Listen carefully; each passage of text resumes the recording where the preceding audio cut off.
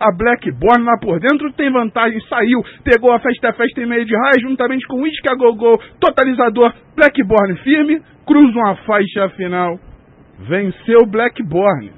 Vamos aguardar o placar.